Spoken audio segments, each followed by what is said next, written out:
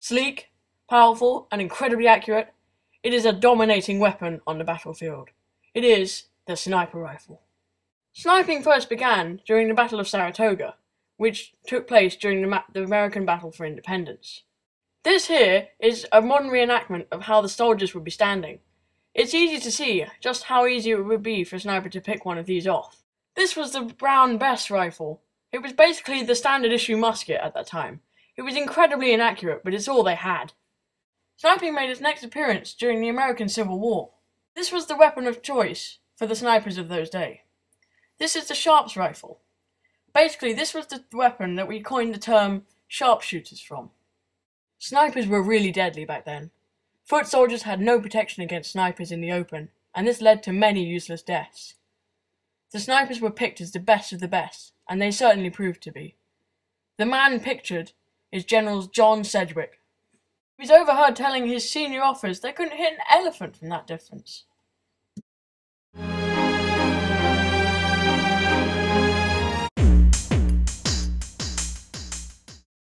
World War One. This is when sniping really got serious. Scopes were attached to rifles, and the Germans were the first to use these snipers to their advantage. Teams began to be trained especially for sniping, and for a while the entrenched British and French had no idea what had hit them. At first they dismissed them as lucky pot shots from the German trenches, but very soon the sheer consistency of the rise of the death toll made the British change their tune. Soon after, many countries had snipers. This is footage of a Russian sniper team. As you can see, camouflage was, and still is, everything to a sniper. Hiding in bushes, behind rocks, snowdrifts, and pretty much anything they can find, sometimes for whole groups of days at a time, making sure they weren't spotted, was key to survival.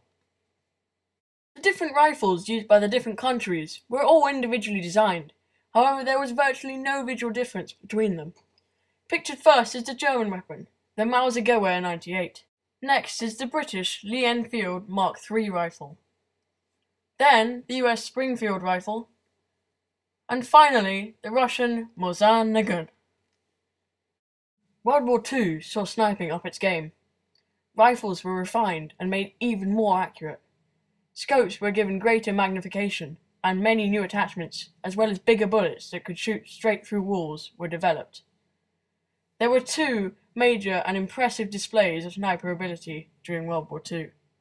The first is Vasily Zaitsev. He started his career by winning a three-day sniper battle with one single German sniper. He then invented the system of spotter and sniper working together, which is still used by snipers in armed forces today, started a sniper school, the students of which are estimated to have amassed 3,000 kills between them, and to cap it off, he got 242 confirmed kills in three months. I mean, he even had a movie made out of himself. And yeah, that's probably true, to be honest. The second is quite literally a super soldier. His name is Simo Häyhä. He was a Finnish man who, when the Russians invaded his country, decided that posting up alone all day for three months was a good plan. It most certainly was. He single-handedly held back the Russians with one rifle and a submachine gun. The rifle he used also had no scope, just iron sights. He killed so many foot soldiers that the Russians ordered teams of counter-snipers to take action against him. They were all killed. Next, the Russians ordered artillery strikes. Shrapnel battered Simo's coat and his body, but he remained at his post. He clearly got bored of the artillery, as one day he took himself on a special mission to stop these strikes. He literally crawled his way to win within 100 meters of an artillery battery, aimed and fired. Two shots later, he was done and called back to his post again. But what had he done? With two shots, he had shattered each lens of the artillery battery's periscopic sighting scope. That is accuracy. Later, caught by surprise, a Russian soldier seeking out Simo, who hadn't even noticed Simo was right next to him and only noticed when he fired and dropped to reload. A close combat fight ensued. The Russian was dead and a stray bullet fired by his pistol had, according to Simo's Finnish colleagues who found him later, taken half his cheek off. Simo regained consciousness on the day of peace, in a hospital to a sore head and a heap load of medals. His final kill total? 705 confirmed kills. 505 alone with his Mosin Nagant, unscoped, ironically Russian rifle, and 200 with his Suomi submachine gun. At 5 foot 3, he was also the smallest troll ever. He lived to 95 and died in 2002 of natural causes. This man, quite literally, was a killing machine. Häyhä and Zaitsev were a huge part of the history of the sniper rifle and sniping itself. Zaitsev's spotter and sniper method is used all over the world today. What it entails is one sniper who pulls the trigger and a spotter who uses a set of binoculars or a handheld scope to scan for targets that the sniper hasn't spotted.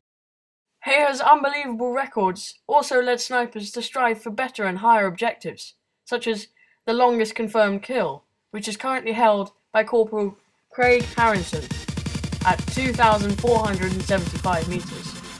In any case, sniping is a huge part of modern warfare. It became a highly sought after job in the army, and it still is. Eventually, however unrealistically, sniping found its way into modern video games. This is the Barrow signing off with some Call of Duty Black Ops 2 gameplay played by yours truly. Thanks for watching.